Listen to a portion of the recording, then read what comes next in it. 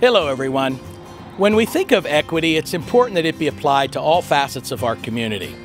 Our cultural assets are no different, and as we wrap up our arts and culture grant cycle, it's exciting to see the wide range of programs and initiatives that will bring together a diverse group of residents throughout the entire community.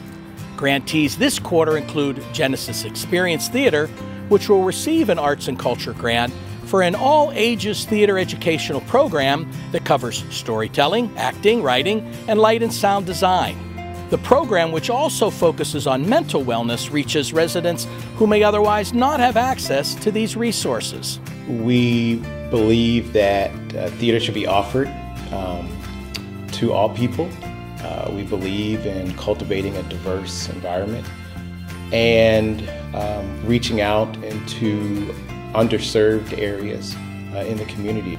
We have a after-school program in the Akron Public School System uh, which has really touched some lives of young people who may not have had exposure to theater.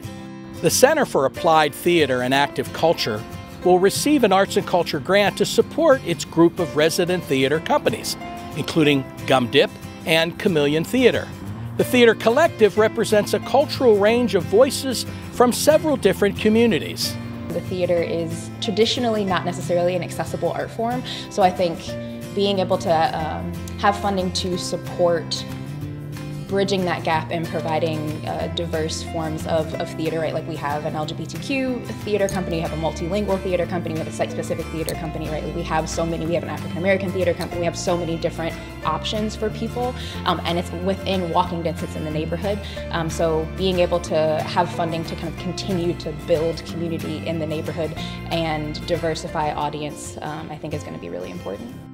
Also this quarter, Arts Now will receive a $75,000 proactive grant which will enable the nonprofit to deploy grants to arts organizations in the community whose programs address one of the 10 public priorities of the Akron Cultural Plan. In all, nearly $3 million in total grants were approved by our Board of Directors this quarter.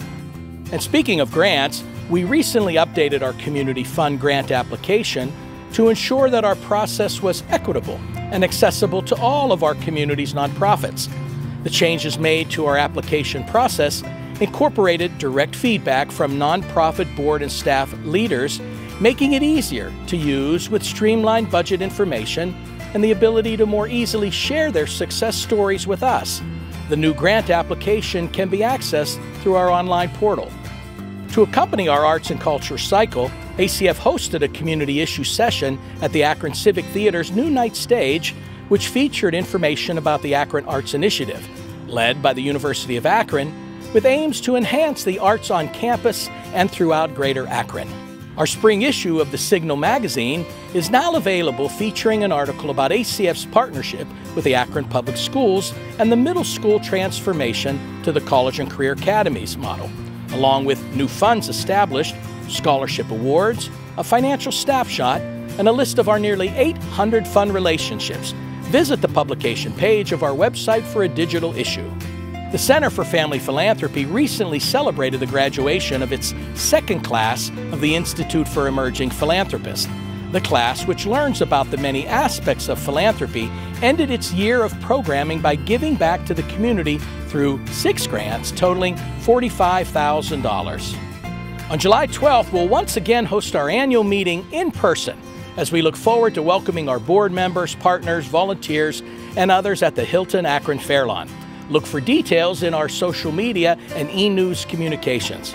Finally, and lastly, we're excited to announce that our next Bert A. Polsky Humanitarian Award recipients, Steve and Janine Marks, who will be honored at a dinner in October, our first in person Polsky event since 2019. That's all for now, everybody. Thanks for watching.